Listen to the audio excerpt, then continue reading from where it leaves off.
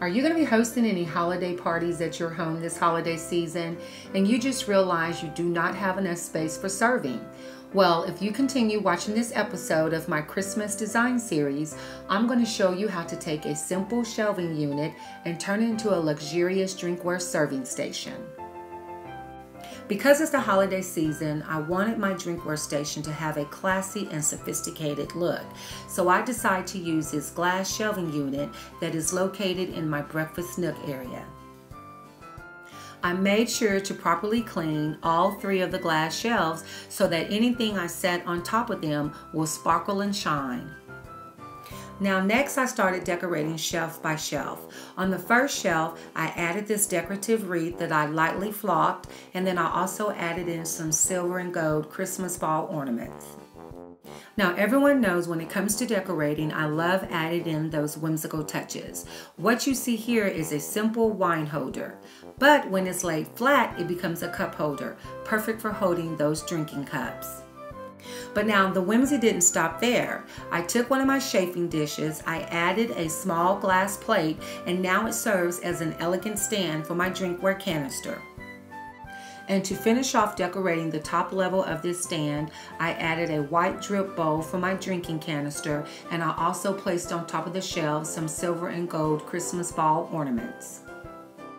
Now, since we're talking about a drink station, I briefly want to share with you guys one of my favorite mixtures that I love to serve during the holiday season, and I call it my holiday punch. And it consists of fresh cranberries, lemon, Lipton lemon tea, and ginger ale. Now, during the holidays, I always use the cranberry ginger ale. Now, don't forget to go over there and visit my website because there I will list the complete instructions and the recipe.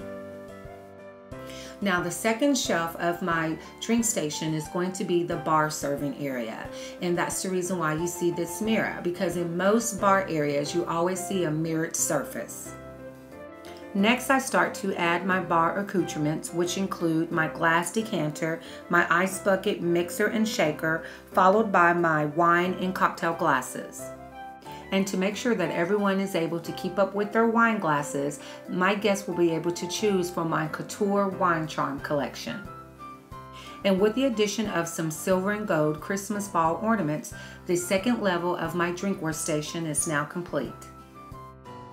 In the bottom half or the third shelf of my drinkware station holds all the necessary ingredients to make the drinks. I have a glass bowl that is filled with lemon and limes and then I also have a metal bucket that holds all of my wine and spirits. And last but not least, to give my drinkware station more of a festive feeling, I've added in a family of gold reindeer on one side, and on the other side, I've added in some silver and gold decorative presents. Now, hopefully, this episode has helped to solve that lack of serving space dilemma for your next holiday party. And if this episode was helpful, please be sure to give it a thumbs up. Now, also, if you are new to my channel and you want to continue to get more designer tips and ideas on decorating, I would love you to hit that subscribe button and join our family. Now, don't forget to tune in next Friday to see a complete holiday tour of my home. And once again, thanks for watching Haute on Design Christmas Design Series. Merry Christmas and bye for now.